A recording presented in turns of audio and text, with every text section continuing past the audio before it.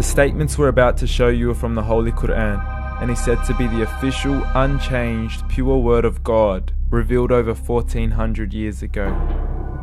Claiming to be the word of God is a heavy statement, and without proof or if a single contradiction is found within the book, the apparent word of God will be proven false. So without further ado, let's put the book to the test.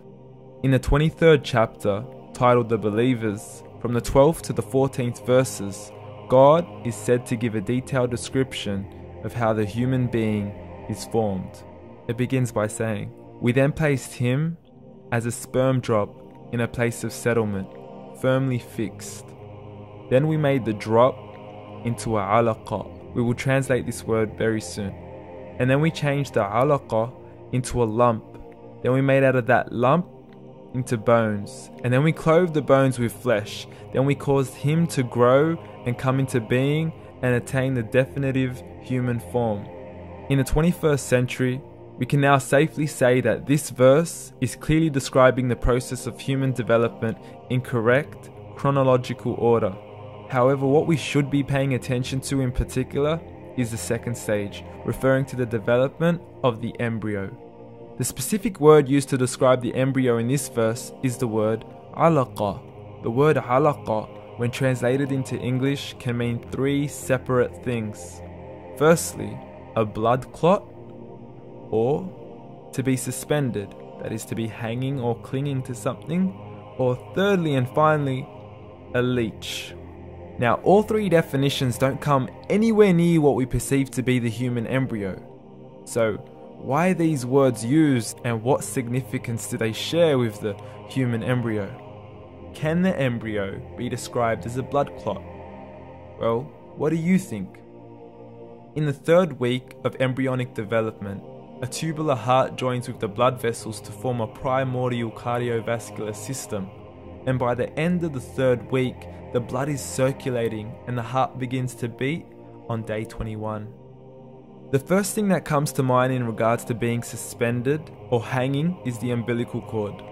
But we can't use that example because we are simply referring to step 2, before the baby has even formed.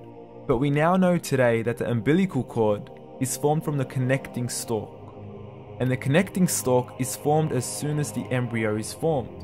The embryo's connecting stalk has even been described by John Allen and Beverly Kramer as an object to suspend the developing embryo in the extra embryonic coelom. So an embryo is suspended and does have a strong resemblance with a blood clot. What on earth would an embryo have to do with a leech? Figure A shows the structure of an embryo at 25 days. Figure B shows a leech. Now please note once again that the embryo in this stage is no greater than the size of a kernel of wheat. This is an x-ray of the embryo at 22 days. This is the internal structure of a leech. It's mind blowing stuff, but you still haven't seen anything yet. This is the head of the embryo at 22 days. The detail you are seeing right now is absolutely impossible to be seen with the human eye and can only be seen with a microscope. This is the back end of a leech. There's no other words used to describe this other than mind blowing.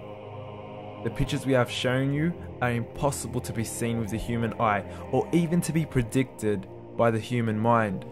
Once again, the verses we have shown you were revealed over 1400 years ago to a man who couldn't read nor write. Are these the words of God? Descriptions of the human embryo in the Quran cannot be based on scientific knowledge in the 7th century.